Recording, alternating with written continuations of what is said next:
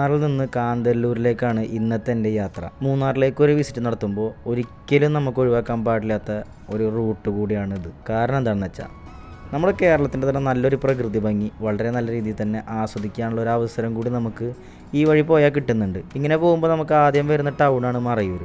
മറയൂർ എന്ന് പറയുന്ന ഒരു കുഞ്ഞ് ടൗൺ ആണെങ്കിലും ഇവിടെ പെട്രോൾ ഫില്ല് ചെയ്യാനും ഫുഡ് കഴിക്കാനും അല്ലെങ്കിൽ സൂപ്പർ മാർക്കറ്റുകളുടെ സൗകര്യങ്ങളൊക്കെ ഈ ഒരു കുഞ്ഞ് ടൗണിൽ നമുക്കുണ്ട്. അതുകൊണ്ട് തന്നെ മൂന്നാറിൽ നിന്ന് കാന്തല്ലൂർ മറയൂർ ഭാഗത്തേക്കുള്ള ഒരു ഡ്രൈവ് അത് ആരും തന്നെ മാക്സിമം മിസ് ചെയ്യാണ്ട് നോക്കുക. കാരണം നല്ലൊരു മൊമെന്റ് നമുക്ക് ആ വഴി പോയാൽ കിട്ടും. അപ്പോൾ അവിടുത്തെ പെട്രോൾ പമ്പൊക്കെ എത്തണേലും മുമ്പേ തന്നെ വലത്തേക്കുള്ളൊരു വഴി കയറുമ്പോഴാണ് കാന്തല്ലൂർ എന്ന് പറയുന്ന മറ്റൊരു ഗ്രാമം വരുന്നത്. അപ്പോൾ ആ ഗ്രാമത്തിലെ കാഴ്ചകളും അവിടുത്തെ പ്രകൃതി ഭംഗി കണ്ടുകൊണ്ട് താമസിക്കാവുന്ന ഒരു ടെന്റ് സ്റ്റേ കൂടിയാണ് ഇന്നത്തെ എന്റെ ഈ വ്ളോഗിൽ ഞാൻ കൊണ്ടുവരുന്നത്.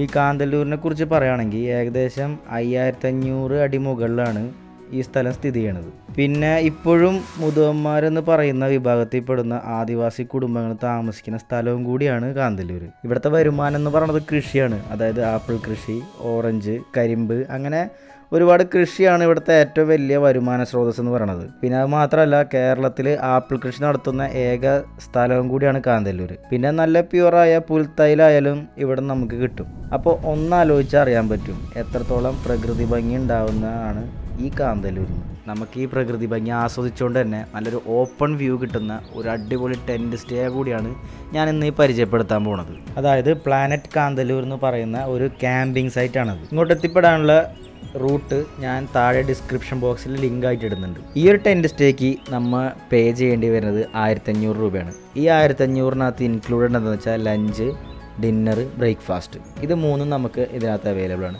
പിന്നെ ഈവനിങ് ടീ ആൻഡ് സ്നാക്സ് അതും കൂടി ഇതിനകത്ത് കിട്ടും.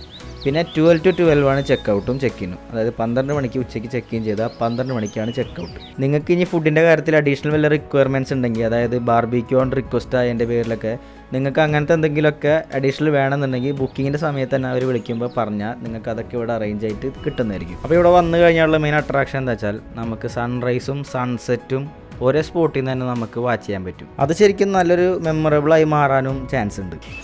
ഒരു മണിക്കും ഒരു രണ്ട് മണിക്കും ഉള്ളിൽ തന്നെ നമുക്ക് അവർ ലഞ്ച് പ്രൊവൈഡ് ചെയ്യും. നാല് മണിയാകുമ്പോൾ ഒരു ട്രക്കിങ്ങിന് പോകണം അതായത് നാൽപ്പത്തഞ്ച് മിനിറ്റോളം നമ്മൾ നടന്ന് ആ മല കയറേണ്ട ആവശ്യമുണ്ട്. എന്നാൽ മാത്രമേ നമുക്ക് നല്ലൊരു അടിപൊളി സൺസെറ്റ് അവിടെ കാണാൻ പറ്റുള്ളൂ. പക്ഷേ വരുന്ന സമയത്ത് കോട മൂടി കിടക്കുകയാണെങ്കിൽ നമുക്ക് സൺസെറ്റോ അല്ലെങ്കിൽ അങ്ങനത്തെ ഒന്നും പോസിബിൾ അല്ല. പക്ഷേ വേറൊരു തരത്തിലുള്ള വ്യൂ അപ്പോഴേ നമുക്ക് കിട്ടുന്നതായിരിക്കും. അങ്ങനെ അത് കഴിഞ്ഞ് സൺസെറ്റ് ഒക്കെ കഴിഞ്ഞ് വന്നതിന് ശേഷം നമുക്ക് രാത്രി എട്ട് മണിയാകുമ്പോൾ ക്യാമ്പ് ഫയർ സെറ്റ് ചെയ്യൂടെ നമ്മൾ ടെന്റിന്റെ ഭാഗത്ത് തന്നെ ക്യാമ്പ് ഫയർ സെറ്റ് ചെയ്തതിന് ശേഷം ഒരു എട്ടരയൊക്കെ ആകുമ്പോഴത്തേനും ഡിന്നറും അറേഞ്ച് ചെയ്ത് തരും. അപ്പോൾ ഡിന്നറിനകത്ത് നമുക്ക് നെയ്ച്ചോറ് അല്ലെങ്കിൽ ചപ്പാത്തി ചിക്കൻ കറി അങ്ങനെ പല വെറൈറ്റീസ് ഓഫ് മെനൂസ് നമുക്കിവിടെ അവൈലബിൾ ആയിരിക്കും. പിന്നെ നമുക്ക് അഡീഷണൽ ആയിട്ട് എന്തെങ്കിലും ബാർബിക്യൂ അങ്ങനെ എന്തെങ്കിലും റിക്വസ്റ്റ് ഉണ്ടെങ്കിൽ അത് എക്സ്ട്രാ പേയ്മെന്റ് കൊടുത്തിട്ട് നമുക്കത് ഓൺ റിക്വസ്റ്റ് ബേസിസിൽ അവർ തരുന്നതായിരിക്കും. രാത്രിക്കലത്തെ ഡിന്നറൊക്കെ കഴിഞ്ഞതിന് ശേഷം നമ്മൾ ആ ടെന്റിൽ ഇരുന്നിട്ട് അല്ലെങ്കിൽ ആ ടെന്റിന്റെ പരിസരത്ത് ഇരുന്നുകൊണ്ട് നമ്മൾ ചുറ്റും നോക്കിയാൽ തന്നെ നല്ല അടിപൊളി വ്യൂ തന്നെ നമുക്ക് രാത്രിയിലും ഇവിടെ കിട്ടുന്നുണ്ട്. പിറ്റേ ദിവസം രാവിലെ ആറ് മണിക്ക് എണീറ്റ് വീണ്ടും ട്രക്ക് ചെയ്യാനുണ്ട്. എന്നാൽ മാത്രമേ വേറൊരു സൺറൈസും നമുക്കിവിടെ വിറ്റ്നസ് ചെയ്യാൻ പറ്റുള്ളൂ. നമ്മൾ ഈ സൺറൈസ് കാണാൻ പോകുമ്പോൾ നമുക്ക് അതിന് മുമ്പായിട്ട് ഇവിടെ കുറച്ച് ഓറഞ്ച് മരങ്ങൾ കാണാൻ പറ്റും. അപ്പോൾ അതിനകത്തുനിന്ന് ഒരു ഓറഞ്ചൊക്കെ പൊട്ടിച്ച് തിന്ന് പതുക്കെ നമുക്ക് സൺറൈസിന് ട്രക്ക് ചെയ്യുമ്പോൾ അത് വേറൊരു ഡിഫറെന്റ് എക്സ്പീരിയൻസ് തന്നെ നമുക്ക് കിട്ടുന്നുണ്ട്. അതായത് പ്യുവർ നാച്ചുറൽ ആയിട്ടുള്ളൊരു ഓറഞ്ച് പൊട്ടിച്ച് തിന്നുമ്പോൾ അതൊക്കെ ഒരു ഡിഫറെന്റ് എക്സ്പീരിയൻസ് തന്നെയാണ്. ഈ സമയം നമ്മൾ വരുമ്പോൾ ക്ലൈമറ്റ് കോട ആയിക്കോട്ടെ ഇനിയിപ്പോൾ മഴ ആയിക്കോട്ടെ എല്ലാ ക്ലൈമറ്റിലും നമുക്ക് ഒരു ഗംഭീര വ്യൂ തരുന്ന ഒരു അൺകോംപ്രമൈസിങ് വ്യൂ തന്നെ എന്ന് പറയാൻ പറ്റും നമുക്കിതിനെ. നേരത്തെ ഞാൻ പറഞ്ഞ പോലെ തന്നെ കാന്തല്ലൂരിന്റെ എല്ലാ ഭംഗിയും നമുക്ക്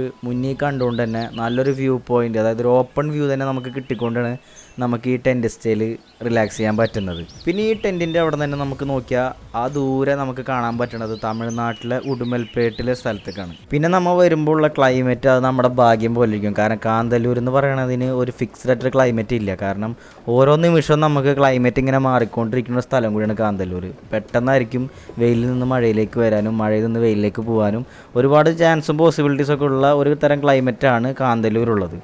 അതുകൊണ്ട് നമ്മൾ വരുന്ന സമയത്ത് നമുക്ക് നല്ലൊരു കോടുള്ള സമയം കിട്ടുകയാണെങ്കിൽ നമ്മുടെ ലക്കായിരിക്കും അത്.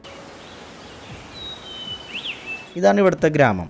ഇവിടുത്തെ ആൾക്കാരൊക്കെ താമസിക്കുന്ന അതായത് കൂട്ടം കൂടി താമസിക്കുന്ന ഒരു സ്ഥലം ഒരു ചെറിയൊരു കുഞ്ഞു ഗ്രാമമാണിത്. അപ്പോൾ ഈ ഒരു ഉള്ളിലേക്കുള്ള ഗ്രാമത്തിൽ നിൽക്കുമ്പോഴായാലും നമുക്ക് നല്ലൊരു അറ്റ്മോസ്ഫിയർ ഇവിടെ കിട്ടുന്നുണ്ട്. കാന്തല്ലൂരിലേക്ക് നമ്മൾ വരുമ്പോൾ ഈ ക്യാമ്പിങ് ബുക്ക് ചെയ്യുകയാണെങ്കിൽ നമുക്ക് കിട്ടുന്നത് ആരും അധികം പോയിട്ടില്ലാത്തതും കണ്ടിട്ടില്ലാത്തതുമായ കാന്തല്ലൂരിന്റെ ഉൾനാടൻ കാഴ്ചകൾ തന്നെയായിരിക്കും. ഇവരുടെ ക്യാപ്ഷൻ ആയാലും കണക്റ്റിംഗ് നേച്ചർ എന്നുള്ള ക്യാപ്ഷനാണ് അപ്പോൾ അതുപോലെ തന്നെ ഇവർ നമ്മളെ പ്രകൃതിയായിട്ട് ശരിക്കും കണക്ട് ചെയ്യിപ്പിക്കുന്നത് തന്നെയുണ്ട്. ബ്രേക്ക്ഫാസ്റ്റിന് ശേഷം നമുക്ക് ഒരു വാട്ടർഫോൾ വിസിറ്റ് ഉണ്ട്. അപ്പോൾ അങ്ങോട്ടേക്ക് പോകണമെങ്കിൽ നമ്മൾക്ക് നമ്മുടെ കാർ എടുത്ത് ഒരു വഴി വരെ നമുക്ക് എത്താൻ പറ്റും. അത് കഴിഞ്ഞ് നമ്മുടെ കാറോടെ പാർക്ക് ചെയ്തിട്ട് ഒരു കുറച്ച് നടന്ന് പോയാൽ നമുക്ക് ആ വാട്ടർഫോളിലേക്ക് എത്താൻ പറ്റും. ഇനി അതല്ല ഒരു ഓഫ് റോഡ് എക്സ്പീരിയൻസ് നിങ്ങൾക്ക് വേണമെന്നുണ്ടെങ്കിൽ ഓൺ റിക്വസ്റ്റിൽ ഒരു ജീപ്പ് നമുക്ക് അറേഞ്ച് ചെയ്യാൻ പറ്റും. ആ ഒരു ഓഫ് റോഡൊക്കെ കഴിഞ്ഞതിന് ശേഷം നമ്മൾ ഈ വാട്ടർഫോളിലേക്ക് എത്തുമ്പോൾ കാണുന്ന ഫസ്റ്റ് വ്യൂ ആണിത്. നല്ല ക്രിസ്റ്റൽ ക്ലീൻ വെള്ളം തന്നെ പറയാൻ പറ്റും ഇതിനെ അടിപൊളി ആംബിയൻസും ആണ്. അടിപൊളി നേച്ചർ ഫ്രണ്ട്ലി ഒരു വാട്ടർഫോൾ തന്നെ ഇതിനെ പറയാണ്ടിരിക്കാൻ പറ്റില്ല. കാന്തല്ലൂരിൽ തന്നെ ഒരു ഹിഡൻ വാട്ടർഫോൾസ് എന്ന് വേണമെങ്കിൽ ഇതിനെ നമുക്ക് പറയാൻ പറ്റും. കാരണം അധികം ടൂറിസ്റ്റുകൾക്കൊന്നും എത്തിപ്പെടാൻ പറ്റാത്ത ഒരു സ്ഥലത്ത് തന്നെയാണ് ഈ വാട്ടർഫോൾ ഉള്ളത്. അപ്പോൾ ഇവിടെ വന്ന് ഈ വാട്ടർഫോൾ വിസിറ്റ് ചെയ്ത് ഇവിടെ കൂളിയൊക്കെ കഴിഞ്ഞതിന് ശേഷം നമ്മൾ തിരിച്ച് ക്യാമ്പിലേക്ക് പോകുമ്പോൾ അതൊരു ഗംഭീര എക്സ്പീരിയൻസ് ആയിട്ട് തന്നെ ഇവിടെ നമുക്ക് കിട്ടുന്നുണ്ട്.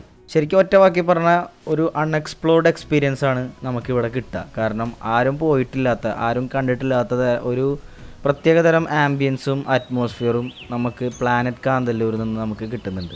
ഇനി ഈ ക്യാമ്പിംഗ് സൈറ്റ് ആർക്കൊക്കെ റെക്കമെൻഡബിൾ ആണെന്ന് ചോദിച്ചാൽ ഏറ്റവും കൂടുതൽ പ്രിഫറൻസ് കൊടുക്കേണ്ടത് ബാച്ചിലേഴ്സിന് തന്നെയാണ്. കാരണം ടെന്റ് സ്റ്റേ എന്ന് പറയുമ്പോൾ തന്നെ ബാച്ചിലേഴ്സിനാണ് ഏറ്റവും കൂടുതൽ നമുക്ക് റെക്കമെൻഡ് ചെയ്യാൻ പറ്റുന്ന ഒരു സംഭവം. പിന്നെ ഗ്രൂപ്പായി വരുന്ന ആൾക്കാർക്കും ഇത് ഒരുപോലെ തന്നെ റെക്കമെൻഡബിൾ തന്നെയാണ്. നമ്മളെല്ലാവരും ഒരു ദിവസം മാറി നിൽക്കാൻ അതും ഇങ്ങനത്തെ ഒരു ഗംഭീര ഓപ്പൺ വ്യൂ ഒക്കെ കണ്ടുകൊണ്ട് തന്നെ ഈ കാന്തല്ലൂരിന്റെ എല്ലാ ഭംഗിയും കണ്ടുകൊണ്ട് ആസ്വദിക്കാൻ വേണ്ടി ഒരു ദിവസം നമ്മൾ മാറി നിൽക്കാൻ തീരുമാനിക്കുന്നുണ്ടെങ്കിൽ ഈ പ്ലാനറ്റ് കാന്തല്ലൂർ ഏറ്റവും ബെസ്റ്റ് ഒരു ആംബിയൻസ് തരുന്ന ഒരു സ്പോട്ട് തന്നെയാണെന്ന് പറയാണ്ടിരിക്കാൻ പറ്റില്ല. കാരണം മൊത്തത്തിൽ പീസ്ഫുള്ളാണ് അതായത് ഫോൺ ബെല്ലടിക്കാത്ത ഒരു തരത്തിലും നിങ്ങൾക്ക് നെറ്റ്വർക്ക് ഇല്ലാത്ത അങ്ങനത്തെ ഒരു പീസ്ഫുള്ളായിട്ട് മാറി നിൽക്കാൻ ആഗ്രഹിക്കുന്ന ഒരാളാണ് നിങ്ങളെങ്കിൽ ധൈര്യമായിട്ട് ഈ ഒരു ക്യാമ്പിംഗ് നിങ്ങൾക്ക് ബുക്ക് ചെയ്ത് നല്ലൊരു എൻജോയബിൾ ആയിട്ടുള്ള മൊമെന്റ് ഇവിടെ കിട്ടുന്നതായിരിക്കും. അപ്പോൾ ഈ ക്യാമ്പിങ്ങിന്റെ മറ്റ് ഡീറ്റെയിൽസും നമ്പറും ബുക്ക് ചെയ്ത് വരാനുള്ള എല്ലാ ഡീറ്റെയിൽസും ഒക്കെ ഞാൻ താഴെ ഡിസ്ക്രിപ്ഷൻ ബോക്സിൽ ഇടുന്നുണ്ട്. അപ്പോൾ ആവശ്യക്കാർക്ക് അത് നോക്കി ഡയൽ ചെയ്യാവുന്നതാണ്. നിങ്ങൾ ഈ നാവിഗേറ്ററിന്റെ വീഡിയോ കണ്ടിട്ടാണ് അത് ബുക്ക് ചെയ്യണമെന്നുണ്ടെങ്കിൽ അത് ആ ബുക്കിങ്ങിന്റെ സമയത്ത് അവരുടെ അടുത്ത് പറഞ്ഞാൽ നല്ലൊരു ഡീൽ നിങ്ങൾക്ക് അവിടെ കിട്ടുന്നതായിരിക്കും.